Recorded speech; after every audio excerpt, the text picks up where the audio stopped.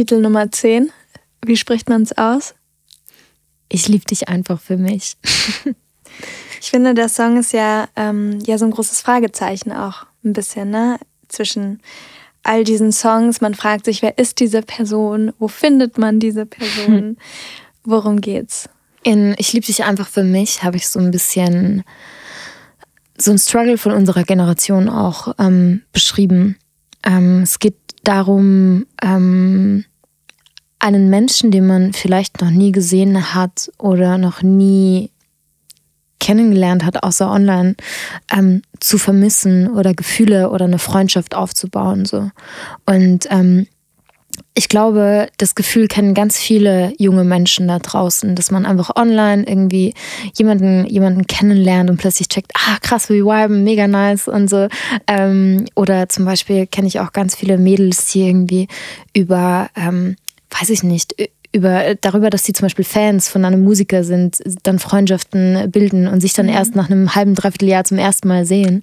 Und ähm, über dieses online kennenlernen, über dieses sich noch nie gesehen haben, aber trotzdem so eine tiefe Verbindung haben. Darüber ist so dieser Song. Ich, ich wollte auch so dieses Gefühl äh, festhalten, dass man dann eigentlich auch das oft gar nicht so erzählt. Also bei mir war es zumindest so. Ich wollte mich dann nicht rechtfertigen dafür, dass ich die Person noch nie gesehen habe. Ich wollte, ich wollte irgendwie das nicht bewerten lassen von außen.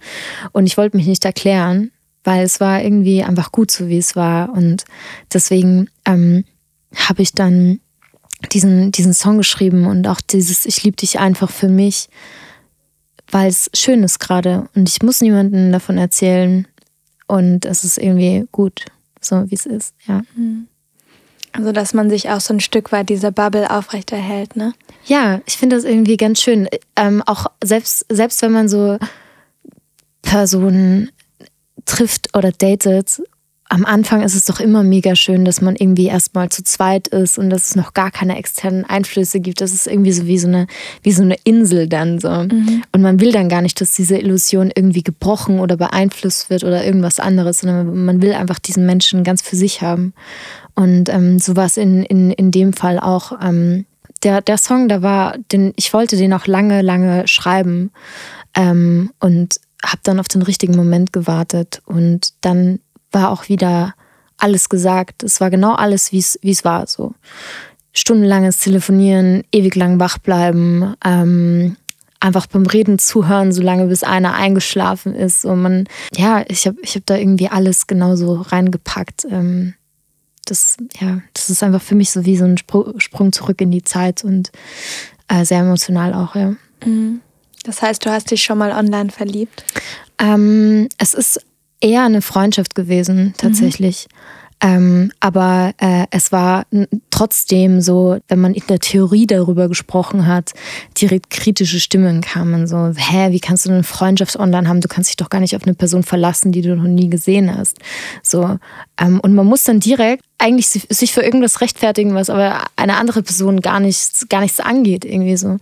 Ich glaube einfach auch dran, dass man, dass man, auch wenn man sich online kennenlernt, dass man ehrlich zueinander sein kann und äh, dass man so gute Freunde oder ja, jemanden finden kann. Man darf sich halt nicht verarschen lassen, so, ne? Also mhm. es gibt ja auch genügend so äh, Catfish-Aktionen. Ähm, ähm, Catfish bedeutet, äh, dass sich eine Person für jemand anderes ausgibt. So, da darf man halt nicht naiv sein, so, aber da gibt es ja auch genügend Möglichkeiten, das rauszufinden, ob die Person mhm. echt ist oder nicht. Mhm. Ähm, aber es ist meiner Meinung nach möglich so. Und ich finde es halt auch äh, krass, wir haben da gestern auch schon drüber, drüber gesprochen, so dass Menschen ganz oft hinter einem Laptop oder hinter einem Handy, wenn man sich nicht in die Augen guckt, viel schneller, viel ehrlicher sind und viel schneller aufmachen und das sich öffnen. einfacher, ja. Ja, und, und deswegen mhm. glaube ich auch, dass gerade solche, ähm, sich auf dem Weg auch kennenzulernen, dass das gar nicht, gar nicht oberflächlicher sein muss, sondern vielleicht manchmal intimer sogar mhm. ist.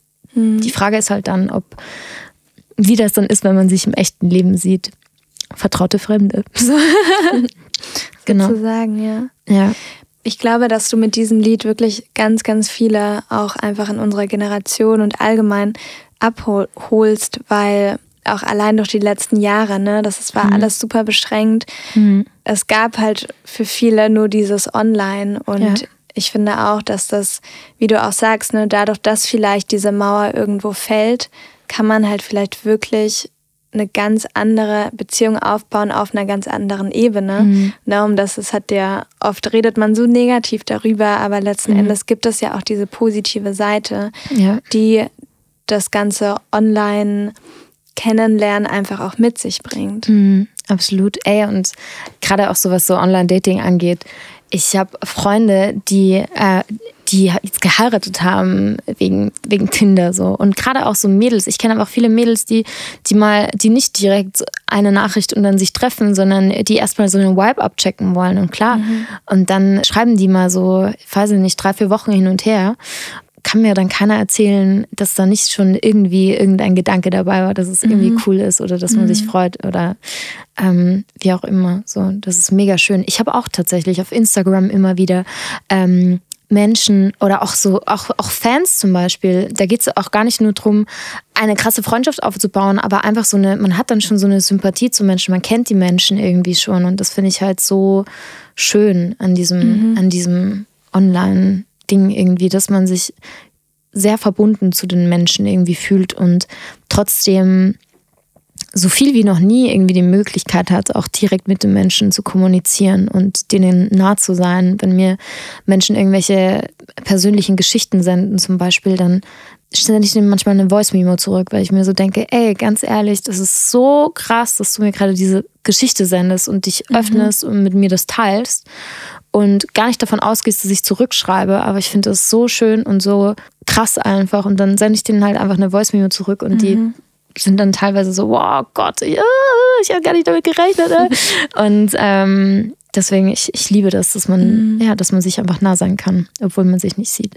Das heißt, der Song ist auch so ein bisschen für alle, die online draußen unterwegs sind. Ja, ich finde, es ist ja so, ich liebe dich einfach, für mich ist ja eigentlich so eine Zeile, die man alleine für sich sagt und, mhm. und so.